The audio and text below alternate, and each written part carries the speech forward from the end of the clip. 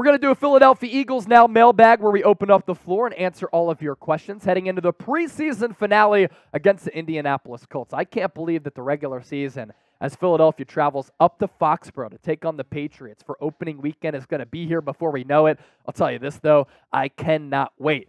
And I can't wait for our last preseason watch party. Hopefully, Nick Sirianni decides to play his starters we're not sure exactly yet what Philadelphia's plan is there, and hopefully we get to see Anthony Richardson as well, the quarterback out of Florida, who Shane Steichen is trying to develop into the next superstar at that quarterback spot. The former Eagles offensive coordinator has done wonders in Jalen Hurts' development, Justin Herbert's development. Can he do the same with Anthony Richardson? Our Eagles Colts watch party will begin Thursday, 7 o'clock Eastern, 4 o'clock Pacific. It all gets underway with an hour pregame show, so make sure you subscribe. Most importantly, though, hit that bell icon, turn on your notifications. Therefore, whenever we push out a video, whenever we do go live, you will be notified. Today's show is sponsored by Conzuri. You can get 25% off their height boosting shoes. We're going to put that link in the comment section and in the description of this video. It is conzuri.com slash chat, and we'll tell you more about them here in just a bit.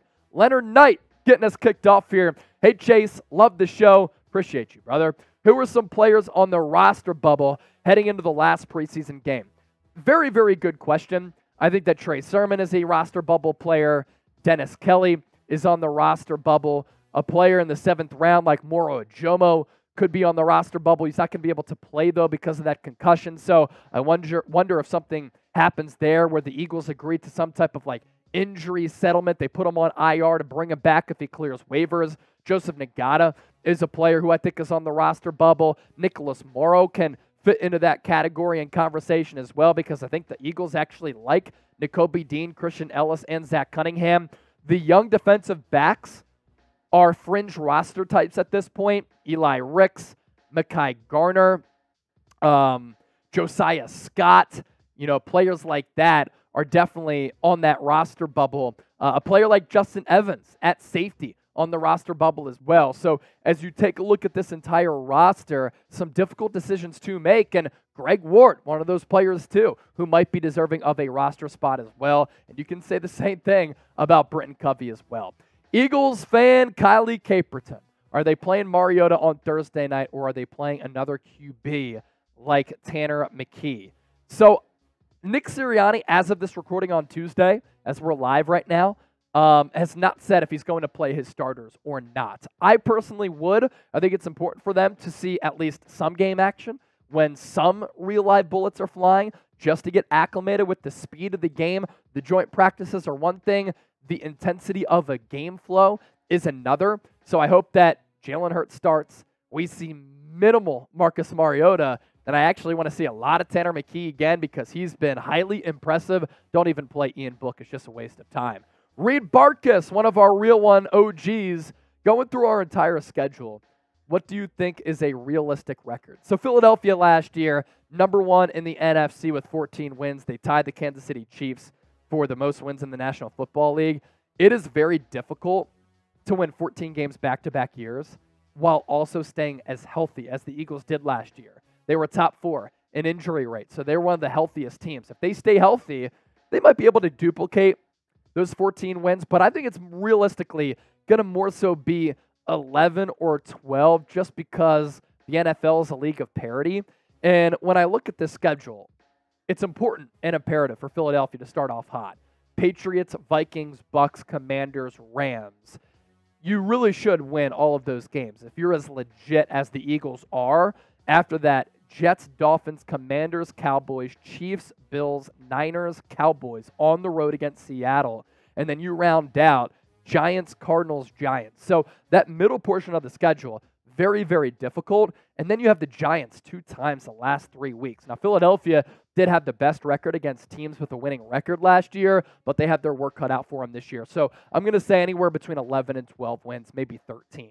Who you got? Thursday Night Football live here on Philadelphia Eagles Now. Type PHI for the Birds. Type IND for the Indianapolis Colts during the joint practice on Tuesday. These two teams fought. It was very intense, and maybe it makes do for another intense environment at Lincoln Financial Field in South Philly on Thursday as well. Now, as I mentioned off the rip, get 50% off Conzuri uh, at Conzuri.com slash chat for their height boosting shoes. We'll put that link in the comment section and in the description of this video. If I said 25% off earlier. I meant 15% off. I'm sick right now, trying to do my job. But Conzuri, have you ever wished that you were a little bit taller? To all my homies out there, maybe you matched on Tinder, but our profile says must be over six feet tall. Maybe your date wants to wear heels, but she can't because it'll make her taller than you. Well, I have the Short Kings covered with today's sponsor, Conzuri. Conzuri makes shoes that make you up to 2.8 inches taller without anyone knowing. Look, girls get heels, makeup, push-up bras. Why can't men get a confidence boost as well? Conzuri shoes, not only height boosting, but also stylish and comfortable. They're not grandpa's Velcro shoes, but instead fashionable shoes that can receive compliments even without the height increase. The height insoles integrated into the shoes, actually, making it the ultimate height hack and for a limited time only. Our listeners get an extra 15% off your order at conzuri.com slash chat. The site is already 30% off, and with our link, you get an extra 15%. I failed elementary algebra at Temple University. I can tell you, though, that's 45% off your entire order. To support our show, check them out, C-O-N-Z-U-R-I dot com slash chat. Life's short. You don't have to be. It's time to level up the playing field, fellas. Maybe update that dating profile to six feet. Conzuri, game changer when it comes to your dating life. And as you can see, athletic wear, dress shoes, all of them very, very comfortable. And you can get hooked up down in the comment section and description of this video. Let's continue to take your questions live here on Philadelphia Eagles now as we have the best subscribers on earth. Jason Music. Why not trade Derek Barnett, Rashad Penny, and a third rounder for Taylor? You throw in Edmunds as well. So Derek Barnett, expiring contract. Rashad Penny, expiring contract. Terrell Edmunds, expiring contract. They're all in the final year of their deals, or they sign one year deals in the case of Rashad Penny and Terrell Edmunds. And a third round pick might be enticing to Indianapolis. But Jonathan Taylor led the NFL in rushing two years ago, back in 2021. So they're not going to give them away for players who they're probably not going to keep. And frankly, they can get better players back as far as draft capital and or player capital. So Jay said, I just don't think that's realistic. They kind of want that package that the Niners gave up for Christian McCaffrey. Brian Thomas, what's the current status of Matt Araiza? Any Eagles front office interested in him? I would be interested in him. Um, he was found not guilty.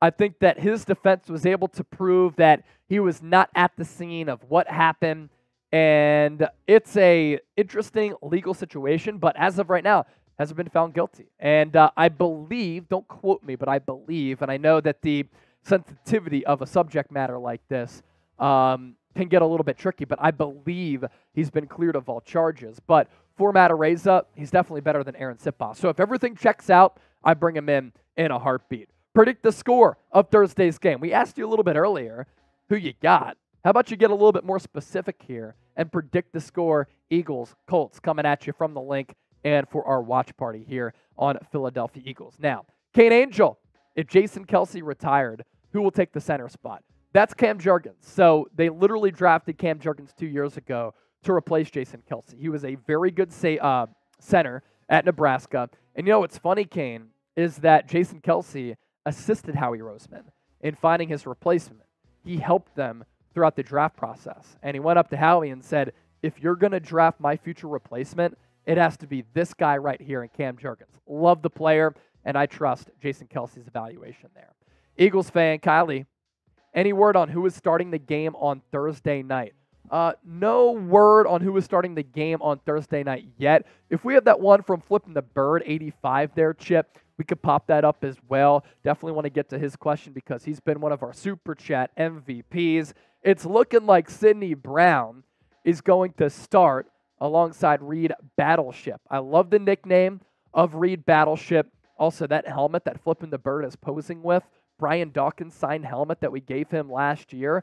Um, what's tricky flipping the bird is that Sydney Brown, while I love the player, love his range, love his fearlessness, I love his physicality. I've said it all along for months now. The instincts that we're seeing now, something that I've broken down in full detail here on the show. Do you want to start a, a rookie? Or do you want to ease him in a little bit? Because Jalen Carter, rookie, could be seeing a lot of time. Sydney Brown, rookie, could be seeing a lot of time. So the only way that the Eagles don't would be because they're not too confident in a rookie playing at safety. And sometimes, as a safety, things can get nuanced with how opposing offensive coordinators can draw plays up. But I love the future of him, and I think at some point he is going to be a starter and a high level starter. Brandon Ford, do you think Howie didn't sing a uh, didn't sign a big name linebacker because he's leaving cap space for DeVonta Smith? So DeVonta Smith can't be signed until after 2023. The Eagles will have a deadline to give him a fifth year option and to exercise that. If they exercise that fifth year option, he'll play under the same salary for 2024, and then he'll get a little bit of a pay increase in 2025. And in turn, he'll be under contract for two more years, and then you can try to sign him to a contract extension then.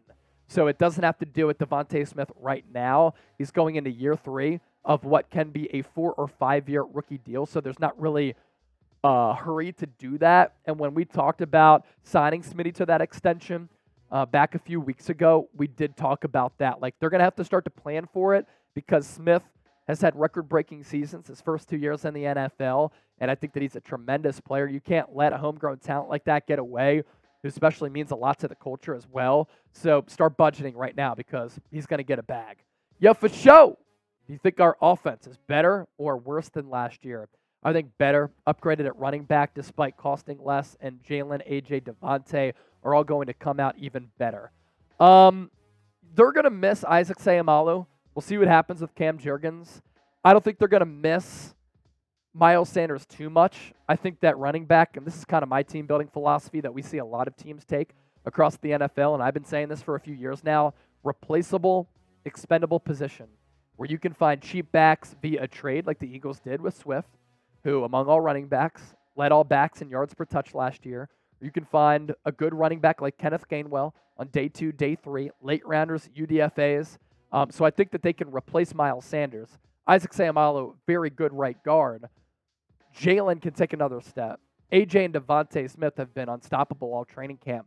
Where I get concerned and why I press pause and why I hesitate to say the offense is going to be better than last year. Last year they were great. Um, last year they set records. Now you have a new offensive coordinator could take a little while for them to fully gel. Andrew Nathan, last question to round things off. Who are possible cuts that Philadelphia will bring back to the practice squad? Mm. All right, let me go. Let me give you a surprise cut who the Eagles won't bring back.